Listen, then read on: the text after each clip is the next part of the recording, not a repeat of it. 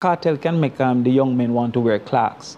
How can he not make them want to? So if it is that it is done, a plan has core values, a plan has clearly defined outcomes, a plan has accountability, and a plan has key performance indices. I repeat for the use of the House that the Jamaica Labour Party government has no plan. They have a document pillars. Okay. Hey peeps, it's your girl Blessed D Sativa and welcome back to the Blessed D Sativa channel. I hope that you guys are having a happy Sunday as I am having and you're having a good, nice, relaxing day with family and friends. Now people, what I wanted to talk about today is a riveting, enthralling interview that I watched last night on On Stage with Damion Crawford.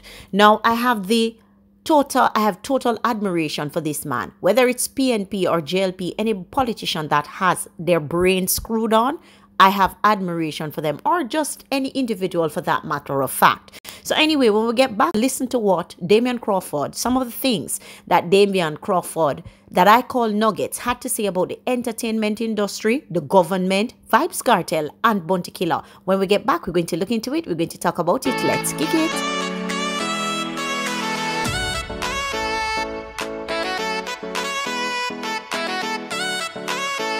You're not like anyone else. You find the way you are. Did you do this all yourself? A smile ignites the room. Us up to the time, you know it's Kartel. Representing for Blessed D, Gaza Diva.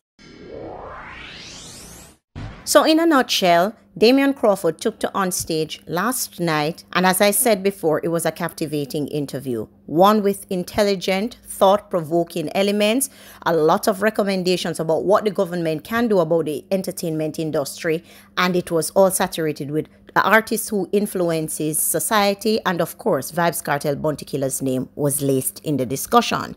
Now, he started off the discussion with asking questions about the entertainment industry and the grant that the government said that they were going to give to people recently.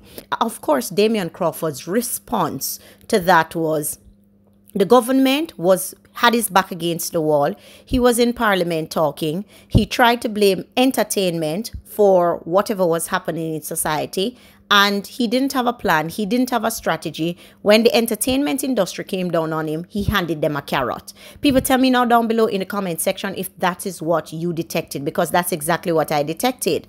When the entire entertainment industry the spragga benzes the Vybz Kartel, the bounty killer the Baby Cham came down on andrew holness about his statement right after Kanice's demise you heard the government go into office and say that he had a grant for the entertainment industry. Long, for those of you who don't want to watch a long interview, it was about 20 odd minutes or so, the interview with Winford, and I think it was very good. People, you need to click on on stage now and go and watch it so you can get the full interview for yourself. As I said, I'm just going to give you the nuggets from my point of view.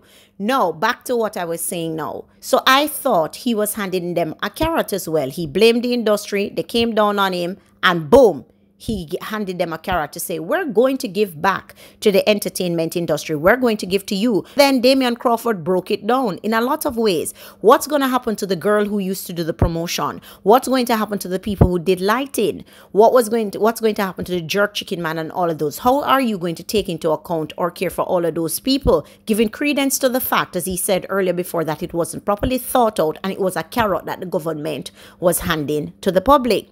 Anyway, now fast forward, he then transitioned into the history and the readings of the whole entertainment industry. And he had this to say about cartoons, which I found very hilarious but factual.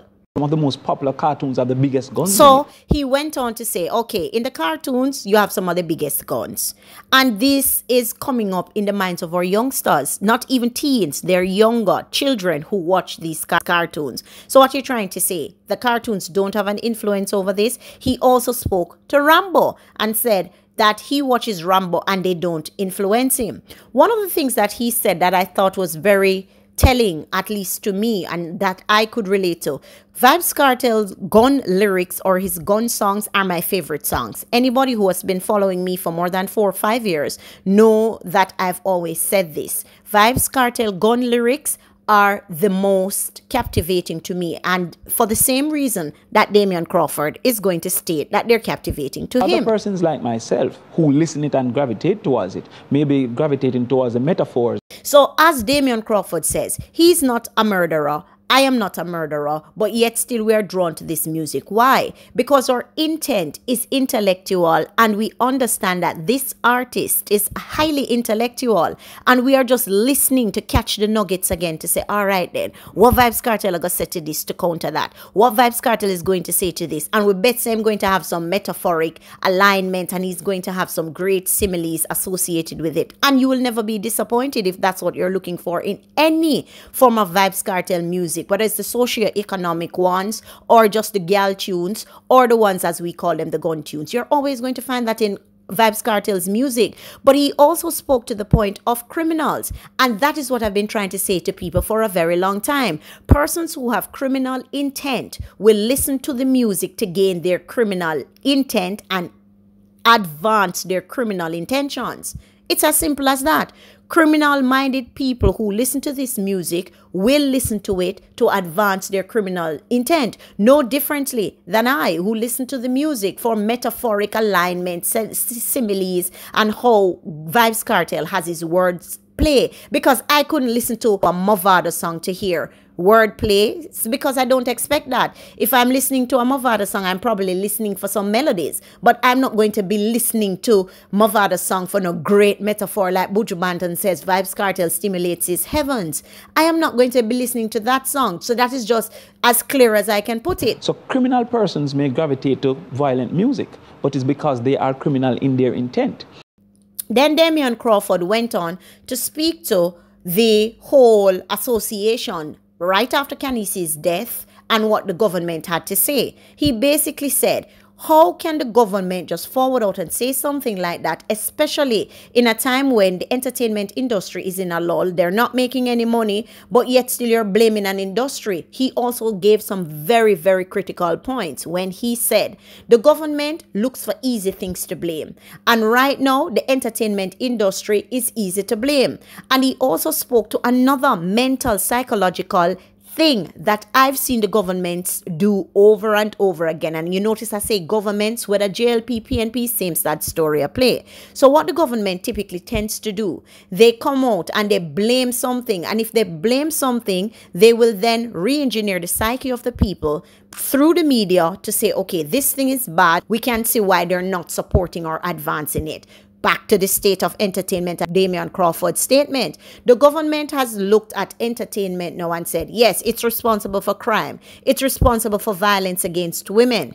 There is no evidence out there to prove that entertainment has driven up or caused a surge in violence against women. For one, the entertainer, like I've said in many other videos that I've made, entertainment has been one of the most anti violence against women music. Apart from the little rugrats that are running out and singing all kind of trash about battery women and all of that crap i can never pinpoint an entertainer that has said you need to go and blah blah blah a woman. You may not agree with it but it takes me to the other point that damion crawford is going to make where he says that a lot of people are going to be listening this to this to say blah blah blah and rate and yes, you're idiot, you chat too much, God, this a rise crime. And this is exactly what and when he spoke about Vybz Kartel and Bounty Killer. Let's take a listen. Including the Prime Minister.